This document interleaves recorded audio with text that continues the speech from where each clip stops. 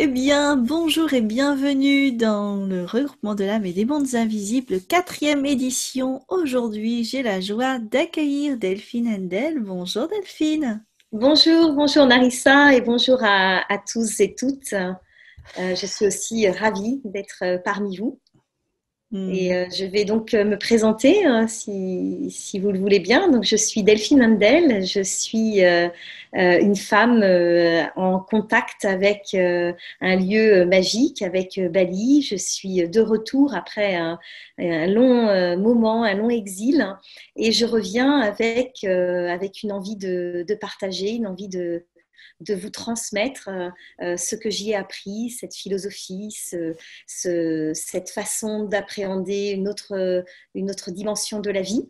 Et euh, notamment, j'ai écrit un livre et publié un livre, Parenthèse magique à Bali. Et cette expérience en fait de l'écriture m'amène aujourd'hui à, à vous emmener euh, sur un chemin, un chemin d'écriture, euh, d'écriture thérapeutique, hein. une écriture euh, qui révèle, une, écriture qui fait du bien, une écriture qui fait voyager aussi.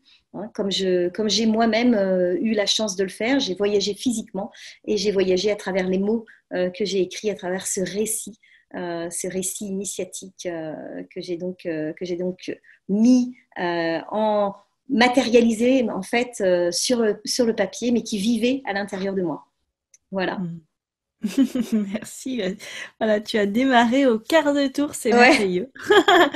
Euh, alors dis-nous un petit peu, Delphine, est-ce que tu as toujours écrit? Comment tu es venue justement à faire cette bascule? Alors évidemment, tu l'écris dans ton livre, euh, mais voilà, qu'est-ce qui t'a, en, quelques mots, permis de passer de avant de, la Delphine d'avant à la Delphine que tu es maintenant eh bien, euh, la Delphine d'avant, elle a un chemin aussi euh, dans l'enseignement. Hein. Je suis euh, une enseignante, je suis professeure de langue et je suis une linguiste.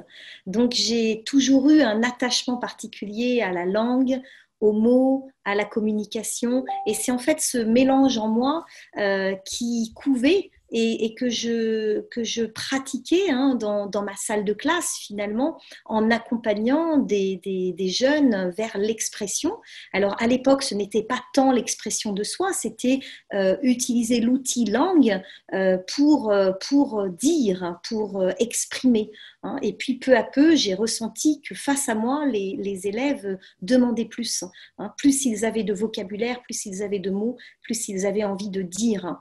Et j'ai toujours un peu écrit, hein, comme on le fait, euh, je dirais, euh, depuis euh, le journal intime d'enfance jusqu'à un blog, jusqu'à des, posts sur Facebook, des choses voilà, que je partageais. Parce qu'à partir du moment où j'ai commencé à vivre à Bali, j'ai senti que s'ouvrait en moi cette porte du besoin de transmettre, du besoin d'écrire, et surtout du besoin de laisser une trace hein, pour que d'autres que moi puissent euh, euh, finalement suivre ce mouvement. Hmm. Et justement, puisque l'on est dans cette thématique des mondes invisibles et de réveiller ces super pouvoirs, cette capacité à se connecter, à communiquer avec euh, ben, d'autres réalités, euh, l'écriture est aussi quelque chose où tu te connectes finalement à plus grand que toi, à une sorte d'inspiration. Est-ce que tu pourrais nous en parler aussi? Oui, complètement. Parce qu'en fait, quand je, quand je dis que j'ai écrit euh, ce livre-là, euh, j'ai d'abord commencé par la méditation. J'ai d'abord commencé par la connexion à moi. Et plus je me connectais, plus je méditais, plus mon écrit changeait. Plus j'avais un rapport à l'écriture beaucoup plus conscient. Euh, beaucoup plus profond. Et j'ai commencé comme cela à me sentir ce qu'on appelle inspiré, vraiment inspiré par le divin. Et j'ai vraiment eu l'impression que d'un coup, euh, cette puissance en moi euh, se révélait et qu'on prenait ma main pour me guider vers, vers cette écriture. Hein. C'est vraiment comme ça que je l'ai ressenti pour moi, le, mouvement vers l'écriture. Hein. C'est quelque chose, voilà, on apprend à écrire tout au long de sa vie, mais à un moment, quand on a parcouru un chemin suffisant vers la connexion, vers la communication euh, de ces mondes invisibles, vers ces forces, cette source, euh, et qu'on sait s'y connecter et y puiser, eh bien, on reçoit de l'aide, tout simplement. Et je pense que j'ai été vraiment soutenue, aidée dans ce projet d'écriture. Hmm, c'est quelque chose de très inspirant ce que tu racontes parce que pour il y a beaucoup de personnes qui ressentent cette envie d'écrire, d'écrire quelque chose, de transmettre, donc par le biais de l'écriture. Et tu vas nous, bah, tu vas intervenir dans le sommet. Donc, euh, qu'est-ce que tu vas nous, nous partager euh, pendant eh le eh bien, les points clés que j'aimerais qu'on voit ensemble, qu'on puisse euh, découvrir ensemble, c'est cet aspect de réconciliation avec les mots, avec des mots qui vivent en nous et qui sont des mots liés euh, parfois à nos ancêtres, euh, parfois juste à notre histoire. Et ce travail de réconciliation, de mémoire, c'est vraiment quelque chose qui, je pense, est pour moi un axe majeur dans l'écriture, l'écriture de soi. On est bien dans un aspect où on ne raconte pas une histoire, euh, l'histoire d'un autre. On peut changer le narrateur, on peut faire plein de choses avec l'écriture, mais le fil conducteur, le fil d'Ariane, j'ai envie de dire, qui se déroule, c'est vraiment celui d'aller en profondeur vers vers soi, vers sa construction, vers qui on est. Et donc, durant cette conférence, je vais euh, vous guider par des exercices pratiques aussi euh, sur ce maniement de la langue particulier et ce jeu de mots hein, pour écrire avec son jeu, son vrai soi. Hmm. Magnifique et euh, on a vraiment hâte de te retrouver donc pendant cette conférence.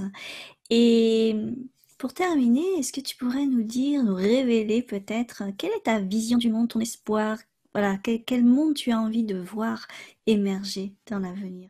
Eh bien, ce que je vois déjà émerger, et je pense que actuellement, avec cette prise de conscience hein, dans laquelle on est, on, vit aujourd'hui, euh, au vu de la situation hein, globale, mondiale, euh, le monde que je vois déjà émerger, c'est un monde où on dit, un monde où on raconte. Hein. on a de plus en plus là, de récits qui émergent, euh, de gens qui font des aveux, de gens qui racontent des histoires enfouies. Et je crois que c'est vraiment dans l'air du temps hein, d'aller exprimer euh, ce qui n'a jamais été dit de soi, d'aller raconter. Alors on n'a pas tous forcément des secrets à, faire sortir, mais on a tous en tout cas une histoire et on est tous un écrivain qui sommeille. Et je crois que le monde d'aujourd'hui a besoin de vérité, et ce que je vois émerger, c'est un monde plus vrai, un monde plus juste, un monde où on ose dire et on ose écrire pour que ça reste, pour que ça se matérialise. Hein. C'est le monde de la matérialisation pour moi.